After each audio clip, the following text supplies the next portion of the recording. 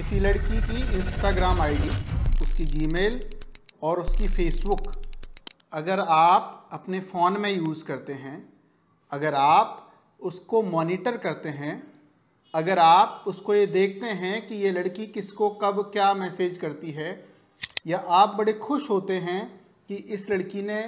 किस तरीके से अपने इंस्टाग्राम की प्रोफ़ाइल पे डाला कोई पिक्चर कोई भी ऐसी चीज़ और आपने उसको सेव कर लिया, पूरा रिकॉर्ड कर लिया और उसको पूरी तरीके से मॉनिटर किया। तो क्या आपको सज़ा हो सकती है? क्या आप पर आपराधिक धाराओं में मुकदमा चलाया जा सकता है? या आप अपनी गर्लफ्रेंड की एक एक एक्टिविटी पर नज़र रखते हैं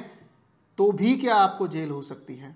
नमस्कार दोस्तों, मैं advocate Adarsh Singhal, Rajasthan high court, Jaipur. अगर आप अपनी गर्लफ्रेंड की किसी भी ईमेल आईडी किसी भी इंस्टाग्राम आईडी फेसबुक आईडी या कोई भी सोशल मीडिया साइट पर नज़र रखते हैं मॉनिटर करते हैं, उनके सारे एक्टिविटीज़ को ट्रेस करते हैं और उनकी सारी लोकेशन सारी चीज़ें अगर आप अपने फ़ोन में सेव करके रखते हैं तो आपको पाँच साल की सज़ा हो सकती है। धारा सेवेंटी एट ऑफ़ द भारतीय न्याय संहिता ये कहती है कि अगर ये स्टॉकिंग कहा जाता है बेसिकली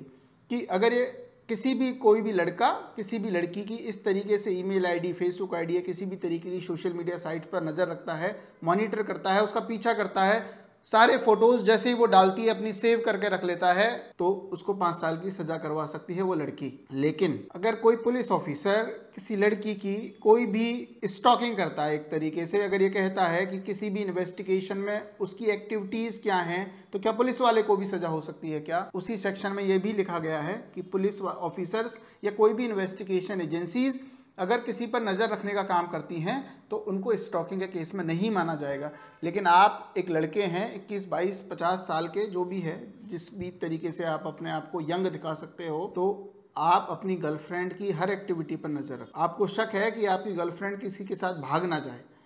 और आप अपनी गर्लफ्रेंड की सारी एक्टिविटीज़ पर नज़र रखते हो तो पाँच साल की सज़ा आपको हो सकती है। Thank you so much.